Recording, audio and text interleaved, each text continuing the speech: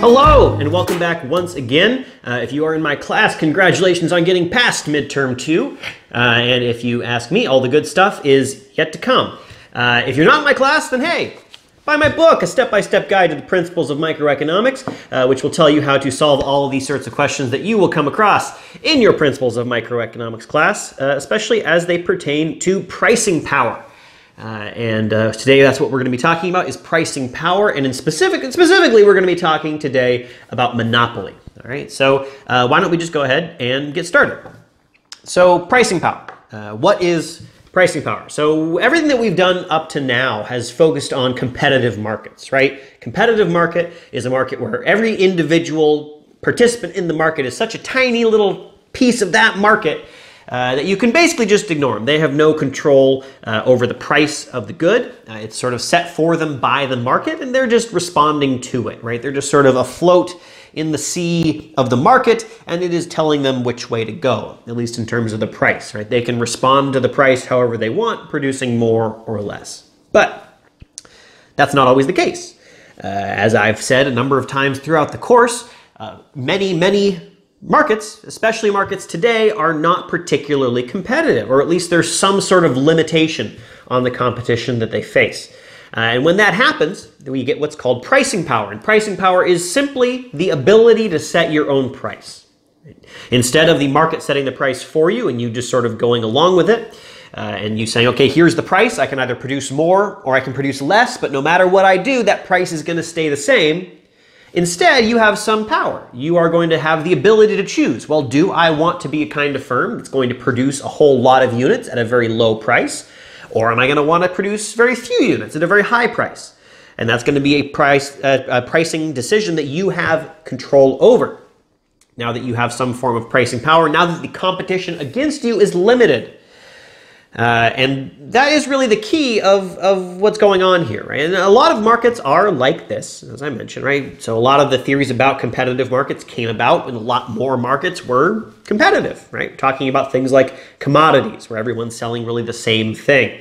Uh, and today, a lot of markets are less competitive. A lot of the things that we buy, or a lot of the markets that we really pay attention to, are things that have strong branding or have strong uh, technology uh, associated with them. And in those sorts of situations, it's a little bit harder to compete. And that's really what pricing power is all about. Uh, when you have some sort of limitation to competition. Now, we're going to go over a number of different ways in which pricing power can arise, but they do all really come back to that limitation on competition.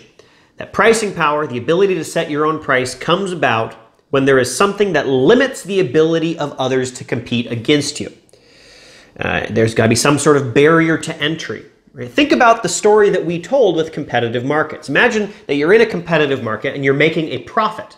Okay, what did we say was going to happen if you're making a profit? Well, you can make a profit for a certain period of time, right? You can set the price above uh, the uh, the you know zero profit point, but what's going to happen?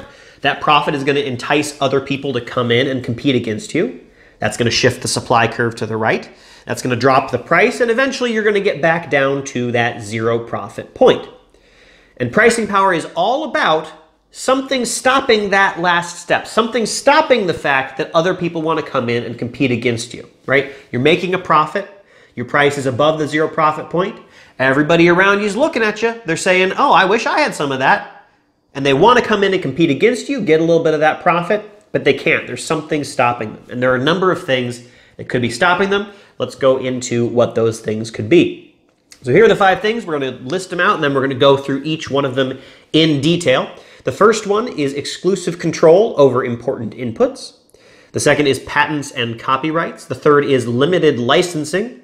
The fourth is economies of scale, also known as natural monopolies. And finally, we have network economies or network goods. So let's talk about what each of these things are.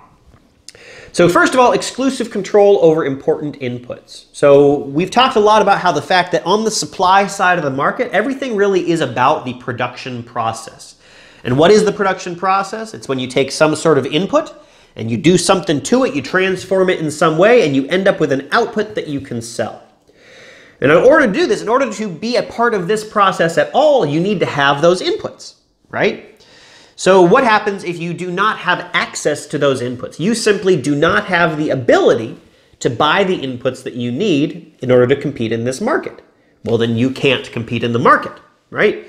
So if some company, say, has bought up control over all of one of the important inputs to this market, then there's simply no way to compete against them. So one example of this is real estate. If you're in a city where a lot of the real estate is owned by one person, that person might be able to use some of their pricing power.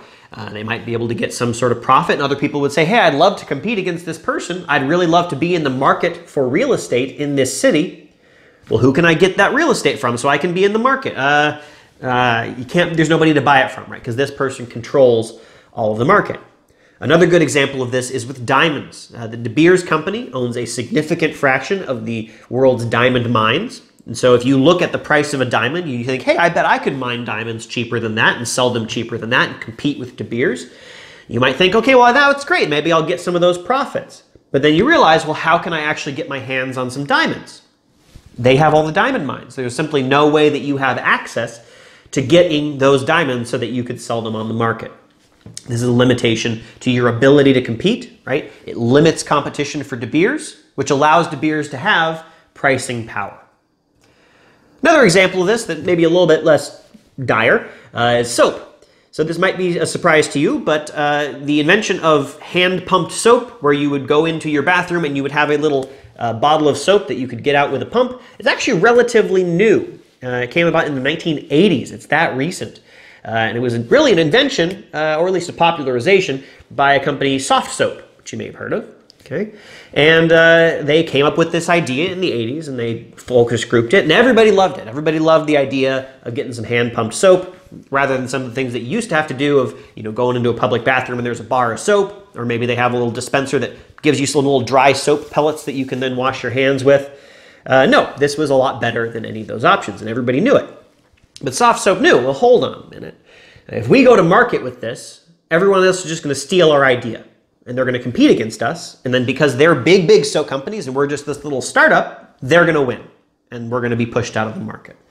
So what can we do? Well, maybe we would like to have some pricing power. We want to have a limit on the amount of people that can compete with us. So let's take control, exclusive control over an important input. So here's what they did.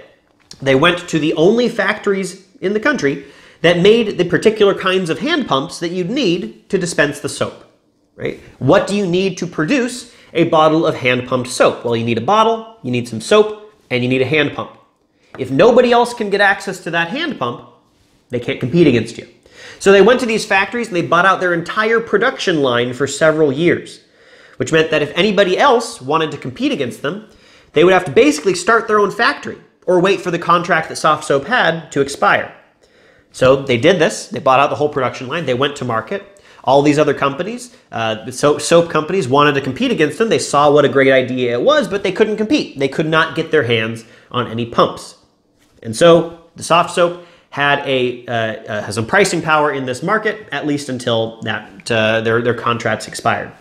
They grew very quickly, and in the end, they were acquired by, I believe, Dial for something like four billion dollars. So that's one way in which you can get some pricing power to have control over an input. That means that nobody else is going to be able to produce this good. Uh, you could also have a patent or a copyright. This is an example of pricing power that is granted by the government. So we're all familiar, I hope, with the idea, the general idea of patents and copyrights. Uh, so if you develop something new, either you invent something new for a patent, uh, or you develop some sort of new intellectual property, you get a copyright. And when you do this, the government says, all right, you've developed this new thing. As sort of a reward for developing something new, we are going to grant you the exclusive right to sell this thing for a limited period of time. Right? You get a patent on some new drug, say, uh, and you have the exclusive right to sell that drug for about 10 years. Uh, you develop some new intellectual property, you write a book, you develop a cartoon character, and you can have the right to that cartoon character for something like 75 years, something ridiculous like that. Uh, and so that means that they have the only right to actually be able to compete in that market, right? When somebody comes out with a new movie, you know, they came, they just came out with Black Panther as I filmed this, right? Uh, now nobody else is allowed to take that movie and sell it, right? Marvel is the only one that has the right to lease that film out to theaters or to sell it on DVD. If you tried to create your own Black Panther DVDs, the government would come after you, right? Uh, and so that means that there's a limitation to competition. You can't just observe that they're selling the Blu-rays for quite a bit of money and decide, hey, I could probably sell it for cheaper and come in and undercut and, and, and uh, cut their price uh, because there's this limitation on your ability to compete in this market. Uh, now, of course, patents and copyrights do expire. Uh, so, uh, of course, you know, drug patent, dr drug copy or drug patents. Sorry, uh, drug patents expire after about 10 years. So you develop a new drug, you have about 10 years to uh, be the sole provider of that drug. And then, barring some particular loopholes that you could take advantage of, at that point it becomes legal for other people to make generic versions of the drug. Copyrights also expire eventually. So, for example, Sherlock Holmes. Uh, Sherlock Holmes was a character developed by Arthur Conan Doyle quite a long time ago. And after a while, the government said, all right, you've had Arthur Conan Doyle, you've had the right, the sole right to produce books about this character for long enough. Uh, now it is in the public domain and anybody can make things about it. And so now we have four different, uh, currently running to different degrees, uh, Sherlock Holmes variants. And I'm probably leaving out quite a few. Uh, of course, while it's still under copyright, you can't do that, right? You cannot compete against Walt Disney and make your own Mickey Mouse cartoon, uh, at least for now. Uh, Mickey Mouse is, in fact, an interesting example because uh, the last time that the patent, uh, uh, the copyright length changed was when Mickey was when Mickey Mouse was just about to come up for going into the public domain. It had been developed long enough ago that uh, time had passed, and the, under the current law, Mickey Mouse was about to become public domain. Uh, Disney lobbied pretty heavily to make that not the case anymore, and the copyright uh, time length was expanded. Uh, that is actually coming up to a limit again. In uh, several years, Mickey Mouse will once again be on track to enter the public domain, and as of right now, as of this filming, Disney does not appear to be putting that much effort into stopping it. Uh, so we'll see what happens with that. Maybe in a couple years, you'll be able to perfectly legally sell your own bootleg merchandise Mickey Mouse hats. Why not? Next up, limited licensing. So limited licensing is, happens whenever a government says, okay, uh, if you want to be in this business, you need to have a license. All right. Uh, and we're going to limit the number of licenses that are available in some way, either by literally saying we're only going to allow this many licenses to exist, or saying something like these licenses, there can be as many as you want, but they're going to be super, super expensive. So uh, when this happens, right, imagine, let's say that uh, you're talking about a license to do something like cut hair, okay? Uh, and you realize that people who are cutting hair are making a good profit. You want to come in and compete against them. You want to cut hair as well. Uh, but it's going to cost you a whole lot of money in order to enter that market because you need to get the license. Even if you already know how to cut hair, it's going to cost you money to enter the market. That is going to be a barrier to entry. It's going to limit competition in that market and it's going to keep you from competing. And it's going to allow the people who are currently in the market to have some amount of pricing power.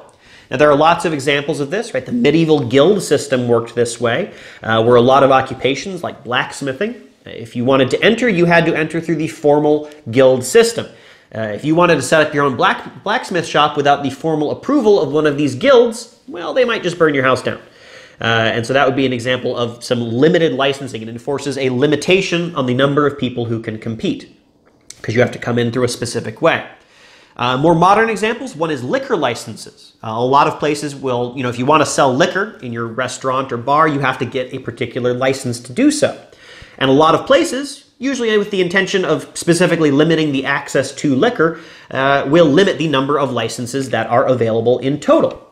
Now, this means that when people want to buy more liquor than there are currently licensed places available to do so, the price of those liquor licenses is going to go way, way up. And in fact, that has happened, right? If you want to open up a restaurant or a bar that sells liquor, you will often have to spend tens of thousands of dollars, hundreds of thousands of dollars, just to get that license that allows you to compete in the market. Obviously, that limits the amount of competition in the market and keeps the price and, and, allows the uh, bars and restaurants that do have the license to uh, uh, have pricing power. Another one that actually seems to be changing is taxi cabs. Uh, so a lot of cities, uh, a very good example being New York City, have a, a, taxi cab medallion system. If you want to drive a taxi cab, you are required to buy what's called a taxi medallion. This is basically a license to run a cab. Uh, now, there's a limited number of these uh, taxi cab medallions, which means that they got very, very expensive. As the number of people in New York City grew faster than the number of medallions, the demand for taxi cabs got really, really strong. And so it became very lucrative to run a taxi. And so the price of a, a medallion, just the right to run a single cab, could go up to a million dollars, which is pretty crazy.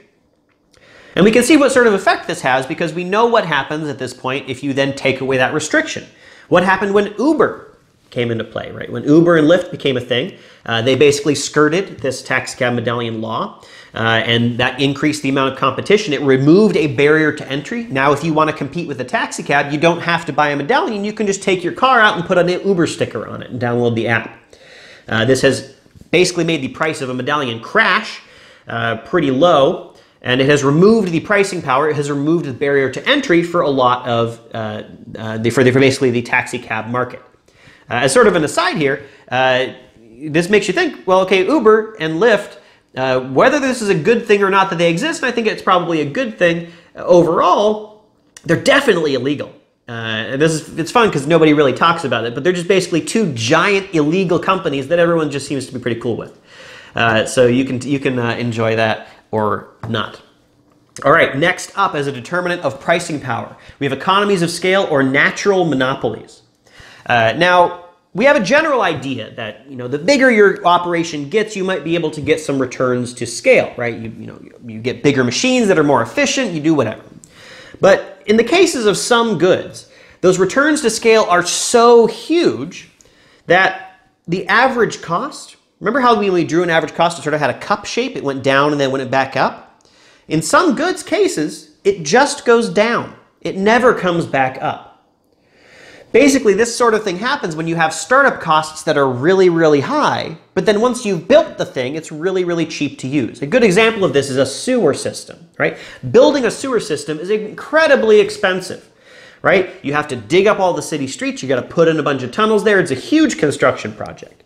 But once it's in place, the cost of, you know, expanding the use of that sewer is pretty low, right? Just letting people use the sewer is fairly cheap. And so when you have a good like this, where it's pretty much all startup cost, and the average cost is going down and down and down, never really starts going back up again. Uh, what it means is that this good is going to be most efficiently produced by a single provider. Right? Let's think about why this is. Let's let's draw a picture of what this might look like. So we're going to draw a picture that's a whole lot like uh, what we had before, but this time we're going to have our marginal cost being flat. And the reason for that is we're basically saying, okay, once it's established, it's not very expensive to use and it doesn't really get more expensive. It's just going to be flat. Now, we're also going to put in our average cost. And our average cost is going to go down, it's going to slope down, and it's, it's going to curve. It's never really going to quite hit marginal cost. Remember, average cost starts going up again once it hits marginal cost, but that's never ever going to happen, at least not at the range that we're looking at. Now, if we have a situation like this, let's imagine what would happen if we had this good produced by one firm as opposed to two. So let's say that in this market, the number of units that people are going to consume is going to be 100. So I'm going to put on here 100. Okay, I'm going to follow that up. And I can see on the average cost sort of what my average cost of production is to make 100 units. Now let's imagine that I took that company and I split it into two. So now instead of one firm making 100 units, I've got two firms making 50 units each. What is that going to look like? Well, if I put a 50 on here, I follow that up. And you can see that the average cost has gotten quite a bit higher. What this is basically saying is that it's more expensive to produce this good if you have more firms doing it. It's cheaper to have it all concentrated in one firm just because the returns to scale are so high. Let's consider this in the example of our sewers. Okay, Basically what this is saying is that uh, in order to make it the sewer not run like a monopoly, you would need to have a second sewer system built right next to the first one. Right? Just redundant, completely redundant. Uh, just in order to be able to have two firms doing it. Now, obviously, this is a really wasteful way to do things. It's much cheaper just to have there be one sewer system. Even if it's not competitive, it's a lot cheaper to run that way. It's more efficient. Uh, and so just building a whole second sewer system right next to the first one just so you can let them compete with each other is way more costly than it needs to be. So this is what's called a natural monopoly. It's natural because it's the nature of the good itself that leads it to be a monopoly. It, it, sort of inclines itself towards being a monopoly because that's the most efficient way to produce this good. Commonly, this sort of thing arises when we're talking about infrastructure or public works projects. Uh, I mentioned the cost of building a second sewer system. You can also imagine the cost of building a second electricity grid right next to the first one, serving the exact same houses, the exact same streets, just a second wire strung along the first one with a second set of poles only put in there because a second firm wanted to compete. It'd be clearly be very wasteful. And not only would it be really wasteful to do it this way, it would be really difficult to enter as a new competitor. Imagine you move to a town where there's already a sewer system and a power grid, right? And you think, hey, you know, I noticed that the sewer system and the power grid, they have a little bit of pricing power going on. They, they're probably making a profit. I want to make some of that profit. So here's what I'll do. I'll build a second sewer system right next to the first one. I'll build a second power grid right next to the first one. Now, the problem here is that in order to do this, you'd need to expend a whole lot of money just to get started. And unless you build one that's as big as theirs, they're going to be able to operate theirs more cheaply than you, which means that coming in as the new small startup, you're not actually going to be less efficient than the big one. And so they're going to be able to outcompete you on cost and the fact that you're just sort of being silly. Lastly, network economies. Uh, so this is an, another example of one that has to do with the nature of the good itself. And so by the way, we sort of have five different determinants of pricing power here. The first one is exclusive control over an important input, right? That one's about what the company does to set itself up as being the only firm that can produce this thing. The next two we had were limit were uh, uh, patents and copyrights and limited licensing. These are both forms of which the government gives you basically the right to have some pricing power. The last two are natural monopolies and network economies or network goods. These are basically things that are intrinsic to the kind of good we're talking about itself. So different sources of pricing power coming from the firm, the way they set themselves up, the government, the way they grant pricing power to, to different firms, and the kind of good that, it, uh, that it is itself. All of these different things can lead to pricing power in different ways. So, back to network goods or network economies. Uh, so, network good is basically any kind of good where the value of the good itself is the fact that people use it. Okay? Uh, so the fact that people use it, that basically what you're buying when you buy into the good is you're buying access to all of those other users that the good has. So a really good example of this is Facebook. Imagine that Facebook had no users on it, and you were thinking about whether or not to set up an account. You wouldn't, right? Why would you bother to set up a Facebook account to talk with nobody? There'd be no point. Uh, and so Facebook is an example of a network good. The value of Facebook rises the more people join it, right? The value of Facebook itself uh, to you as a consumer is the fact that other people use it. Some other good examples of this, uh, Microsoft with Windows, right? Windows uh, owns a major majority share uh, of the uh, of the desktop market, right? Most most computers have Windows on them.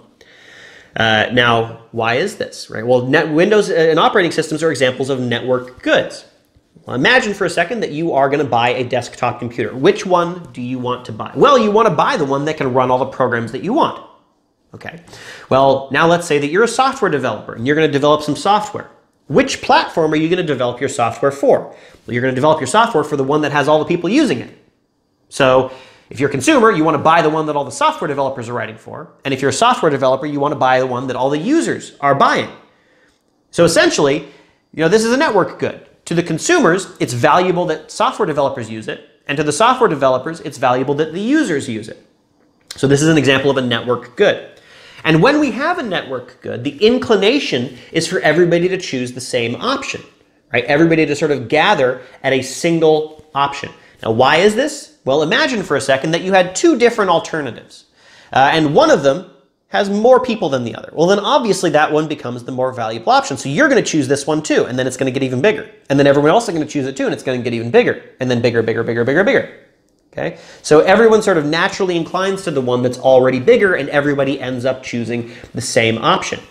Uh, this is one reason why it's so hard to compete with Facebook, right? A lot of people have tried. Google has tried with Google Plus, and they failed tremendously, right? Because imagine you're going to set up a social network account, or you have a social network account on every platform and you're deciding which one to invest time in, If the whole value of the social network platform is the fact that other people use it, you're going to go ahead and keep using the Facebook one because it's bigger and you have access to more people, then you're going to use the Google Plus one. Right? It's just not as valuable to you because there are fewer people on it. Uh, and so it's just going to be really hard to compete with Facebook on those same lines. Which you'll note the reason why all of the other social networks that have done really well do things that are very different from what Facebook does, right? Because if they're just trying to compete on Facebook, even if their product is much better, even if Google Plus was a lot better than Facebook, it would still be a lot worse than Facebook because not anybody because nobody uses it. Whereas something like Twitter or Instagram, they're all very different kinds of products and so they don't try to compete with Facebook in the same way, which is how they can be successful. Uh, and you can imagine, well, we already had the story about how this is going to lead to everybody choosing the same option. It's also going to mean it's going to be very hard to be a new entrant. If Facebook is already really huge and you want to come in and compete as the little guy, not only do you have to have a better product than Facebook in order to get people to use yours, but you have to compete with the fact that everybody else is already on Facebook. It's going to be really, really hard to convince somebody to use your product when there's nobody on it. It's just a really big barrier to overcome. Your product is intrinsically less valuable than Facebook because it does not have the same user base. All right, so we've gone over our determinants of pricing power. The next thing to do is to figure out what's going to happen. Now that we have pricing power, what is the firm that has the pricing power going to do with its power? So the basic question that we're going to ask is, what are these firms actually going to do? We know that they have control over their price and they have control over their quantity. So how are they going to choose their price and their quantity? And the question that we're answering here is basically, how do these firms maximize their profit? Because just like the firms in the competitive market, that's what they're trying to do, is maximize their profit. So how are they going to do it? So we're basically going to use a model that's very similar to the competitive market model that we already had. See, there is a point here that we are building on top of the model that we already had. There's a reason why you learned it in the first place. The main distinction that we're going to have between the competitive market model and the monopoly model is that in the competitive market model, when we looked at the demand curve that the firm faced, it was completely flat, right? They had no control over the price. No matter what quantity they chose, they always got the same price. But now you do have control over the price. You can choose to have a low price in a high quantity or high price in a low quantity, which means that the monopoly firm is going to face a downward sloping demand curve. Okay? Now, we are going to be specifically talking about monopoly firms here, but a lot of this logic is going to extend to other kinds of firms that have pricing power. A monopoly firm, by the way, is when you just have one firm. Uh, in the market, they're the only one in the market. Because there's only one, it becomes a little bit simpler to think about. So let's think about it. So we're going to have a downward sloping demand curve, and let's draw this out, okay? So we're going to start out with the exact same setup that we had for our competitive market. We're going to have our marginal cost curve, looks just the same. We're going to have our average cost curve. And it's going to be just the same. It's going to be that cup shape, right? That downward sloping only part was just for natural monopolies. For other monopolies, it's going to look the same as it used to. Now we're going to put on top of this our downward sloping demand curve. There it is. And then I'm going to add one more curve. We're not quite done. The extra curve that I'm going to add is marginal revenue. And marginal revenue is going to be below demand, and it's going to slope down more quickly than demand. So what is marginal revenue here, and why did I put it on there? So let's think about this for a second. So in the past, when we worked with competitive firms, we knew that we wanted to set marginal revenue equal to marginal cost in order to maximize our profit. But because we were a competitive firm and we had no control over the price, every time we sold another unit of the good, we got paid the price, which meant that our marginal revenue, simply by definition, was the price. And so instead of using marginal revenue equals marginal cost, we just used price equals marginal cost.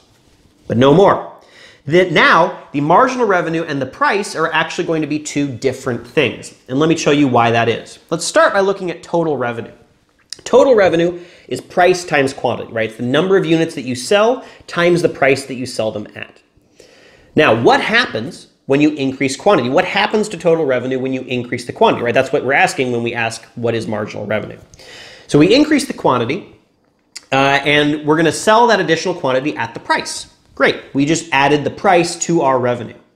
However, in order to sell this additional unit, we had to lower the price. Now, why is this?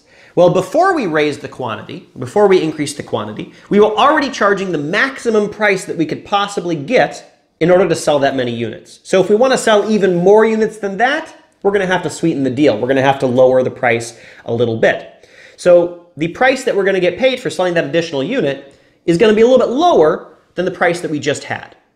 Okay, well, fine. We're going to get paid a little bit less than the price that we already had. But also, in order to do this, because we're only charging one price to the whole market, we're going to have to lower the price on every unit that we were selling.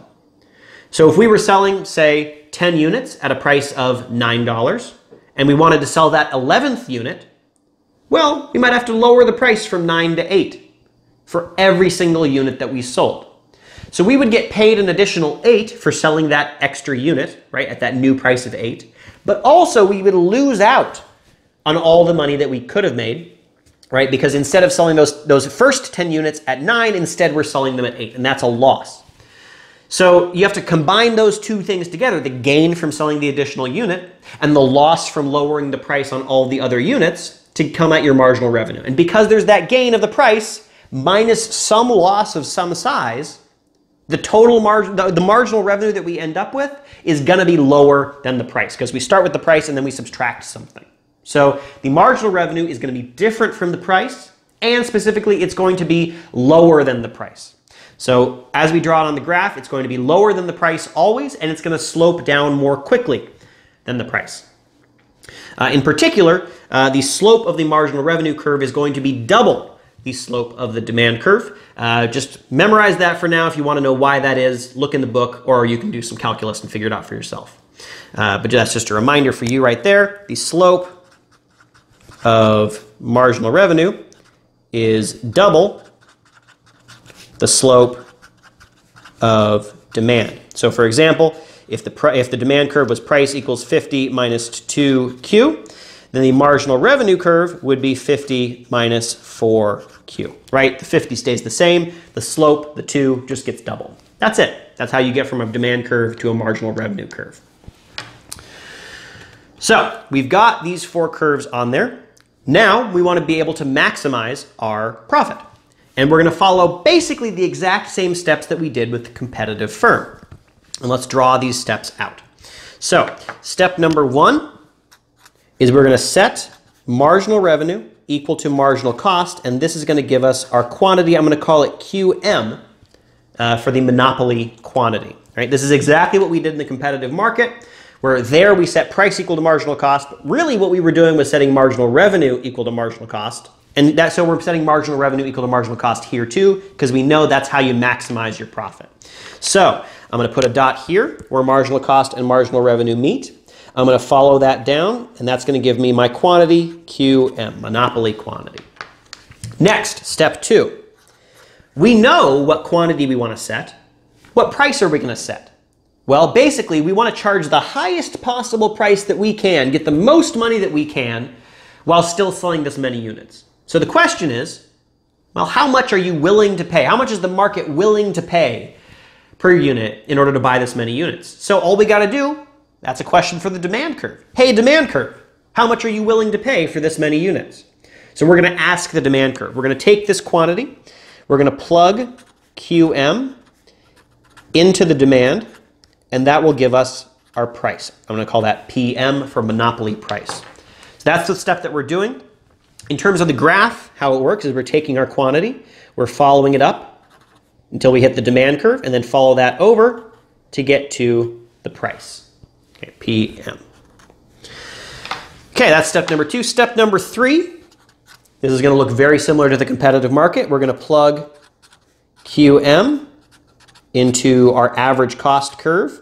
And that's going to give us our average cost, just the same as it was for the competitive market, right? Just follow our QM until we get to average cost, follow that over, and that gives us our AC. And then finally, step four, we can get profit from quantity times price minus average cost, just as we do. And just as we do on this graph, we already have our box sort of formed out. We have a width on this box of Q, and we have a height of price minus average cost. So I'm just going to go ahead and shade that in, and that is our profit.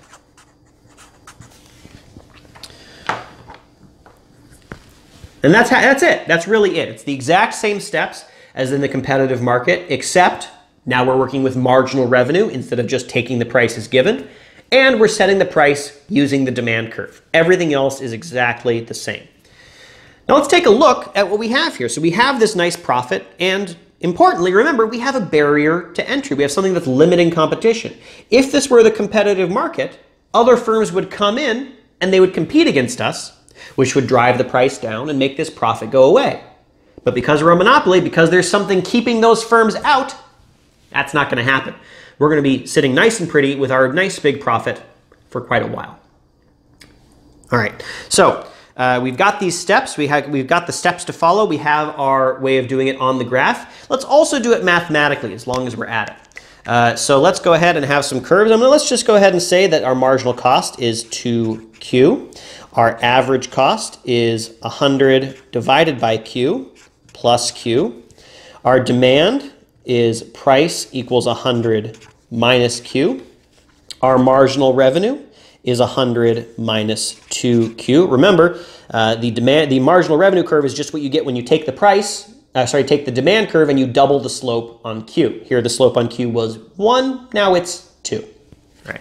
So we're going to follow the exact same steps. We're just going to do it with equations instead. So step number one, set marginal revenue equal to marginal cost.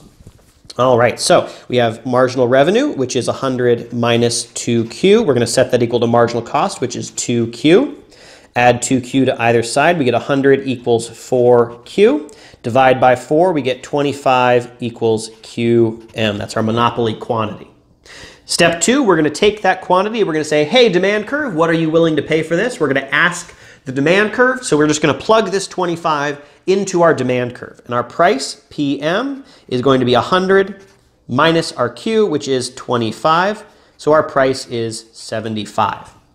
Next, we're going to plug this into average cost and see what we can get there. So our average cost is 100 divided by Q, which is 25 plus q, which is 25. That's going to give us 25 plus 4, or 29. And then finally, our profit. Our profit is going to be uh, quantity times price minus average cost, which is going to be 25 times 75 minus 29. Uh, and you know what? We could calculate that out. Pull out your calculator, but there's no need to. That's the answer right there. Okay? And that's basically how you follow the exact same steps as we would on the graph, right? We're just doing it in, algebraic form. We can even label these numbers on the graph if we want to. We could put in 75 where the price is here. We could put in 29 where the average cost is. We could put in 25 where the quantity is. All right, so we've got our way of figuring out where pricing power comes from. We know what pricing power is, right? It's this limitation on competition that gives you the ability to set your own price without losing all your customers. Uh, we've got this way of doing it mathematically and graphically, figuring out how firms maximize their profits under the ability to, to, to uh, choose their own prices, to have some pricing power. We know that it's going to generate profits that don't go away in the long run. We also happen to know that because these profits don't go away in the long run, this means that business people are going to seek out these sorts of situations where they have pricing power right? A lot of you are probably in business majors or interested in business. You might have heard advice to do things like differentiate or set yourselves apart or brand. These are all attempts to set up pricing power by making it so that other people can't compete against you quite as easily, right? If you have a brand as strong as, say, Coca-Cola, it makes it difficult for other soda companies to compete against you in the same way. Uh, now, this is, of course, very good for you as a business person. It means that you're going to get these nice profits that will not go away in the long run. Uh, but it also means that you know there's going to be some inefficiency, right? We're going to end up with a dead weight loss. Why is that? Well, think about what we were doing here. We're basically setting the price a little bit higher than maybe it should be at the efficient level, uh, and setting the quantity a little bit lower than it should be at the efficient level. This improves our profits, but it sort of leaves some people out in the cold. In particular, if we look at our graph, our dead weight loss area is going to be this area right here between marginal cost and demand between the quantity that we chose and what we're going to call the efficient quantity. I'm going to call that Q star. That's where demand and marginal cost meet. That's our deadweight loss. Now, why is it deadweight loss? This is basically surplus that we are giving up because this firm has pricing power. So look at this for a second. So imagine that you are on this graph right here. And let's say that you are this person right here on the demand curve. Now, you value this good, whatever good that, is, that this monopolist is selling, at a certain amount. And the monopolist could produce it for you at a much lower cost. If they made it for you and they sold it to you, you'd be better off and they'd be better off. But they've chosen a quantity too low and a price too high to get you to do this, right? The price is higher than you are willing to pay. Basically, they could make both of you better off by selling you the good. But in order to sell it to you, they'd have to lower the price, right? Because right now their price is higher than you're willing to pay. And by lowering the price to the point where you're willing to buy it, they would lose so much money on the goods that they're already selling that it becomes not worth it to them. So we end up with this dead weight loss.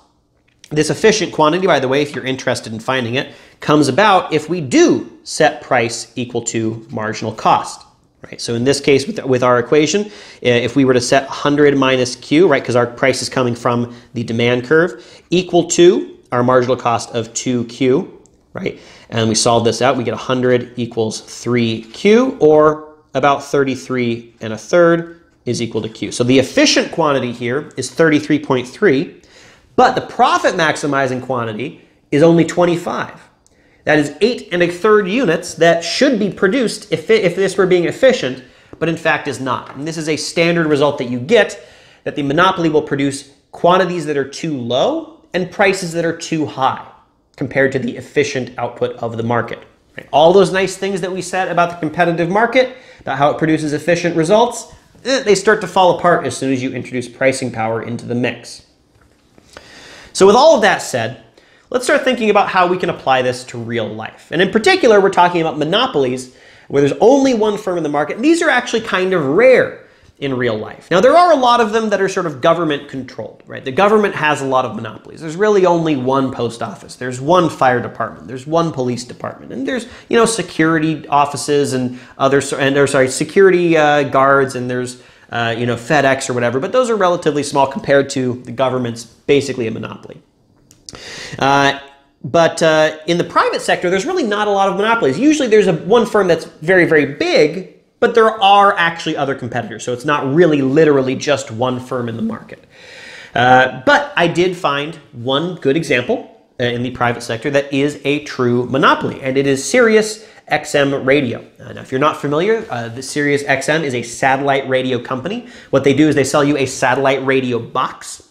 Uh, it's sort of like a little box that goes in your car and it plays the radio, sort of like you play over the radio in your car, uh, except it's a special premium set of channels. You get a whole bunch of channels and they play, you know, there's like a whole channel that's just one artist and all that sort of thing. Uh, now, they did not used to be a monopoly. Uh, it used to be the case that there was XM radio and there was Sirius radio. In 2001, XM radio launched a satellite radio service with a subscription fee. Uh, and then in 2002, Sirius satellite radio launched its competing service. Uh, and for a lot of years, they had a lot of trouble making any sort of profit. Right? They're competing against each other. That pushes the prices down. The fact that there is competition. Uh, and even though they had millions and millions of subscribers and they had some very exclusive content that makes it a little bit difficult to compete, right? There is a barrier to entry here. There is a limit on competition, but it could be even more limited. It could be just a monopoly. Uh, and both of the firms basically had their prices pushed down by the fact that there was some form of competition. You can imagine both of them maybe cost $10 a month, and XM is like, geez, we're not really making any money. Let's start charging 12 bucks a month. Well, then suddenly everyone's just going to sort of filter over and get Sirius instead. That's no good for XM. So in 2008, the two companies merged. They merged together. Now, the reason why they would want to merge is that by merging, it means there's less competition in the market. They don't have to compete against each other anymore. There's just one firm and they can set whatever price they want, conditional on the demand of the market. Uh, and uh, this would, of course, let them raise prices on their subscribers. Now, the government knew that they was, were going to raise prices on subscribers, and the government tends to frown on that sort of thing. So what they did is they approved the merger. Governments have to approve large mergers like this, but they stipulated that Well, if you're going to merge, you're not allowed to raise your prices for three years. They said, okay, fine, all right. So they merged. They continued to lose money at their low prices for about three years. And then as soon as the three years was over, suddenly that extreme level of pricing power really kicked into gear. They raised their prices and they started becoming profitable. And they are, of course, a 100% monopoly. As far as I know, there's no other satellite radio service. Uh, so in this case, uh, we can think about, well, where did this monopoly come from? Where, which of those five determinants of pricing power did we end up with? And I think a lot of the thing to do here is the fact that there really is a very large fixed cost and a very low uh, marginal cost after that. This is sort of a natural monopoly. Uh, you can imagine, you know, you know, you don't really need to use two services, two satellite subscription services at once. And the costs are really all in creating the shows and setting up the whole network in the first place after that, it's pretty cheap to let people use it. This is not that far off from what we were talking about with artificially scarce goods before, but in this case, it sort of trends things towards being a monopoly.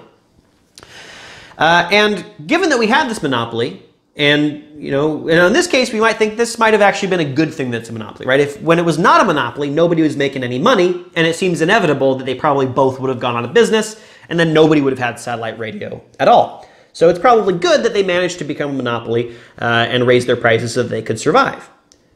But that might be a special case where if it's not a monopoly, it's going to fall apart. And so whenever we do see a monopoly, we want to think, well, okay, what do we think about the existence of this monopoly? Is it a good thing uh, or is it a bad thing? And if it's a bad thing, how bad is it? And so we want to ask some questions. So let's ask some questions about a given monopoly that you know, are based on the things that we've learned about pricing power so far. So first thing we can ask about, about a monopoly is why is it a monopoly, right? Where did the firm get its pricing power? Second, is it naturally a monopoly? Is it a natural monopoly? Is it this good always going to end up being constructed as a monopoly? Last, third, we can ask how much do prices rise? We know that when you have pricing power, you tend to put prices that are too high and quantities that are too low. So do we actually see this happening and how much? And lastly, should we do anything about it? Right? We have some governmental power to uh, restrict monopolies.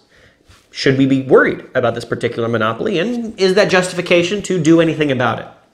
So let's take an example of Google. So Google is not a pure monopoly, right? There's very few actual pure monopolies in the private sector. Uh, but economists tend to refer to any market where one firm has like a really, really big chunk of the market as a monopoly anyway. And in Google's case, they have about 70% of search volume, which is pretty big. They have a really big chunk of internet advertising revenue, and they're basically a monopoly in both of those spaces. So uh, we can ask all these questions about Google in particular. And uh, as I film this, I'm recognizing that this part of the lecture might go out of date uh, with some speed. But keep in mind uh, that when I wrote this, it made a little bit of sense. So first of all, where did this firm get its pricing power? So it's not like there's really a whole lot of network externality or uh, network externalities or goods uh, to do with search or ads. There's no real reason why everybody would need to choose the same ad platform. There's no government sanctioned monopoly going on here, really. Uh, you know, they might have some sort of protection on their search algorithm, but anybody else could make their own search algorithm as well. Uh, there's not really huge startup costs. If you've taken a programming class, you could build your own search engine or your own ad platform. It might not be as good as theirs, but you can do it. Uh, and that's not very much startup cost at all. Very likely, uh, where I think their monopoly power came from was technological superiority, which is sort of a form of controlling an input, right? If, if you have the best technology and nobody else can figure out how to copy it, that's basically denying everybody else an important input to compete with you. Uh, I happen to be old enough to remember the era before Google as a search engine existed. Uh, and then it came out. And then search engines basically went from being a thing that was like, oh, this doesn't work, to, oh, this works really well. They were just much better than anything else that was out there on the market. And they managed to take that technological superiority that they had, uh, both in the search and ad spaces, and use it to build a monopoly and take over a giant share of the market. So that's probably where their, tech, their, uh, their pricing power came from. Uh, is this necessarily monopoly? Probably not. This is probably not a natural monopoly, right? It's not like there's really any sort of efficiency gains to be had by concentrating all search or ads in one area. Question three, how much do prices rise? And do prices rise, right? We can ask, well, are, is Google using their power as a monopolist or a near monopolist to raise their prices? Now, in the case uh, where we actually do have some competitors, it makes it a little bit easier to compare because we can just ask how much more expensive is Google than the alternatives. And it does look like for similar ads, Google does tend to charge 50 to 100% more than its rivals, Bing and Yahoo. Uh, it's able to do this because it has that pricing power. It can raise its prices above everybody else's and still keep some of its consumers because it has pricing power. It has that ability to do so. Another sort of hint that Google has pricing power is the fact that they have a lot of profits. Uh, and really excess profits above what you might expect from somebody who just ran a competitive ad or search platform.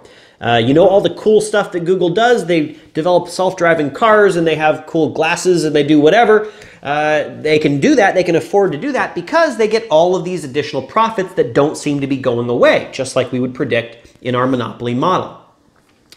Lastly, should we do anything about this monopoly? Well, this one's a complicated one, uh, especially in Google's case because they're not really just in the search and ad space, and you might be worried about their ability to use their uh, leverage and monopoly status to influence other areas. But in the particular case of search and ad, I suspect that it's probably not a huge issue, right? They're resting their pricing power on technological superiority. And they certainly had technological superiority when they debuted, but nowadays, other search engines and ad platforms are about as good as Google's are, right? Google might be a little bit better, but it's not as much better as it used to be. So we would expect that to the extent that they used to have pricing power, that should probably be starting to dissipate as people go to their competitors that might be cheaper uh, and, and, have similar uh, products of similar quality. And we do, in fact, seem to be seeing this happening. Google's market share in both of those areas has been dropping over time. Uh, so it seems like they are, in fact, losing more and more of that pricing power and more and more of that market share. So in the case of Google, at least when it comes to ads and search, it seems like the monopoly problem might fix itself. Uh, now, that is not going to be the case in every monopoly you might think of, but it's good to go through these questions and start to think about what's actually going on here. So, to sort of recap everything, pricing power comes when competition is limited in some way. There are lots of ways in which this can happen. A firm can set itself up to have the only source of inputs. The government could impose patents or copyrights or limited licensing. Uh, or the good itself could be a good that lends itself to naturally being a monopoly or having some sort of network uh, economy. Uh, firms are then going to take their pricing power and maximize their profit by setting marginal revenue equal to marginal cost. When they do this, the price is going to be above marginal cost, right? The demand curve uh, is going to be downward sloping, but the marginal revenue curve is going to be lower than the demand curve and even more downward sloping. Remember, that marginal cost is going to come from where marginal revenue hits marginal cost, uh, which is going to be down here, and we're going to go up to get to the demand curve where we find price. Since we have to go up, we know that we're going to end up with a price that is above marginal cost.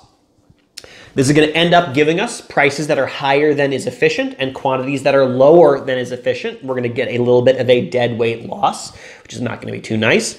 Uh, and we're going to end up with some pretty high prices, or sorry, some pretty good profits that are not going to go away in the long run, which means that firms are going to seek these pricing power situations, uh, which means that they're going to basically be seeking out situations that are a little bit inefficient, which is going to be nice for them, but not so nice for society.